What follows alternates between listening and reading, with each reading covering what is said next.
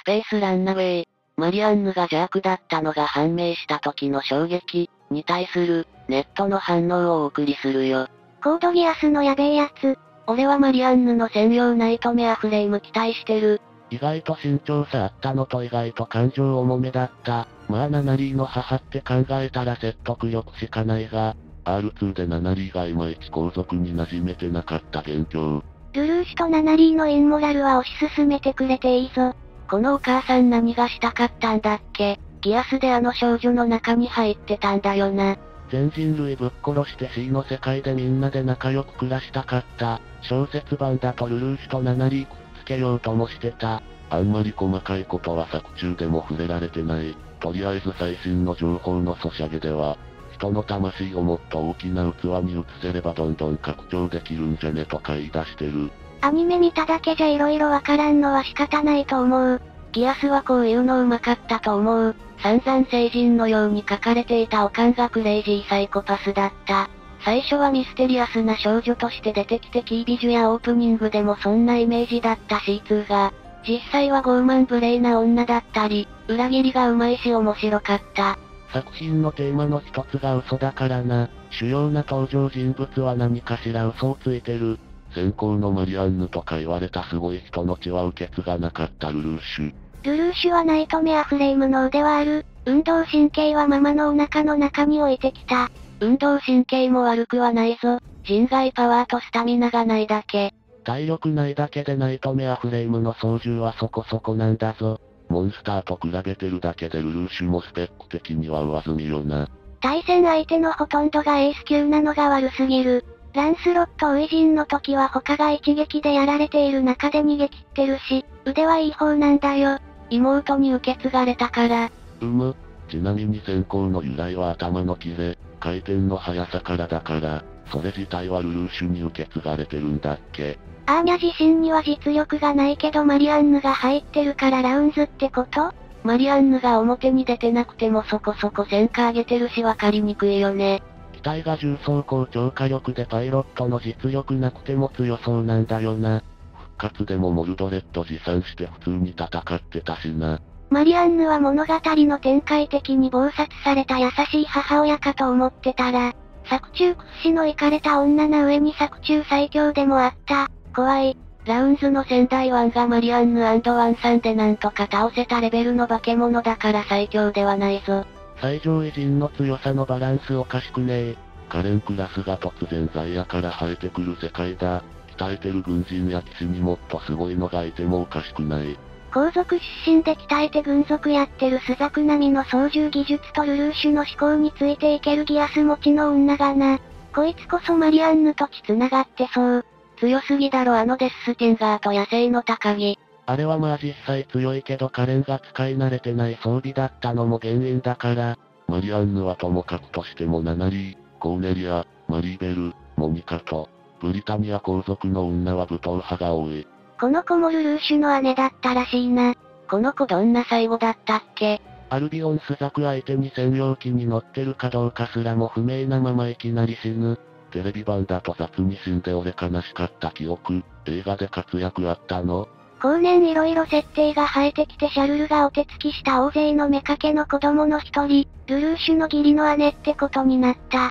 そんなん知らん。まあ実は貴族階級出身かつシャルルの帰着出資って設定自体が今年の夏頃にロスストで出てきた設定なんで、知らない人は知らんわな。結局裏切らなかったがこいつを敬愛しているオレンジは不安すぎた。何も知らなければシャルルを守って戦い抜いた強強騎士だから、尊敬しか湧かない。敬愛はしてたけど忠誠はルルに捧げたから、それはそれとして R2 後はアーニャを養ってるんじゃなくて、アーニャに雇用されてたのは最近まで知らなんだ。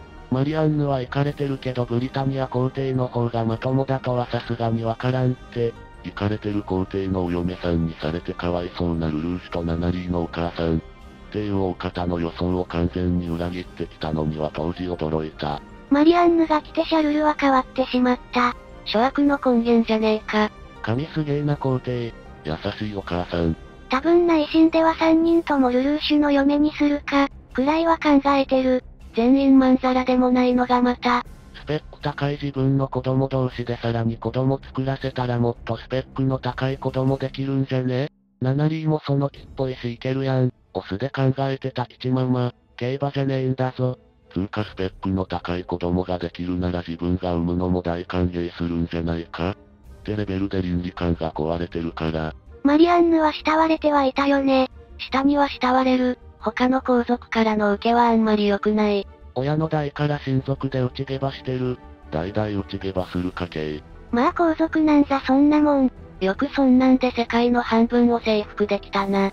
技術的に圧倒的な差をつけて新兵器投入して世界最大の資源国を占領。これがシャルルジ・ブリタニアの軍略よ。ナナリーってナイトメアの描写見るに、静止でもナイトメアフレーム乗ったらクソ強そうだよね。スザク並みに強いんじゃないか。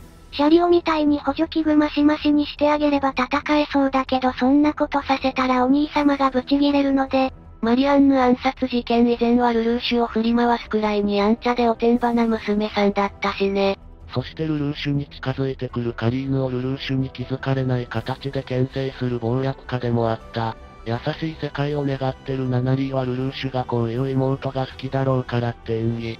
ナナリーは幼いながら母の本性に気づいてたらしいな。ナイトメア・オブ・ナナリーの世界線だと比較的まともだった人。ナイトメア・オブ・ナナリーとか読むとナナリーもルルーシュに対する本質はマリアンヌに近いところがあって、本編 R2 終盤の行動も、世界のためもありはしつつも、ああいう立場でいれば、ルルーシュがさらってくれるみたいな期待してそうで怖いんだよな。先行のマリアンヌって異名かっこいいよな。許せなかった。シャルルの彼女がマリアンヌだなんて。兄さん、また嘘をついたね。ガッチガッチに虚飾で固められた兄弟だから自由奔放なマリアンヌに惹かれたのかなと思った。自分を偽らずに正直に生きてるのが良かったんだろうな。ただ一般社会でうまくやっていく資質を書いてる。本物の英雄の器ではあったんだろうなマリアンヌ。ただ英雄の負の側面もでかかっただけで。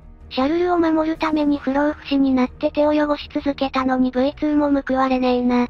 そういえばなんで V2 に仕返ししなかったんだろ ?C の世界にしか執着してないのでリアルの肉体が同行されようがどうでもいい。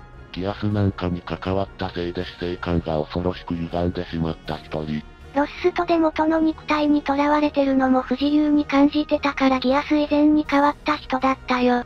マリアンヌは邪悪というより感性が人のそれとだいぶずれてる感じだった。自分の行動を善悪の感情なんて抜きでそれが正しいし当たり前と本気で思ってるだけでしょ。やばいやばい言われるけどテレビアニメを見ているだけだと、ちょっと生命倫理の価値観が違うけど愛情のある母親なんだよな。ミオリネの母親がしばらく黒幕的存在じゃないかと疑われてたの大体こいつのせいだよね。息子に変なポーズを見せつける母ちゃん。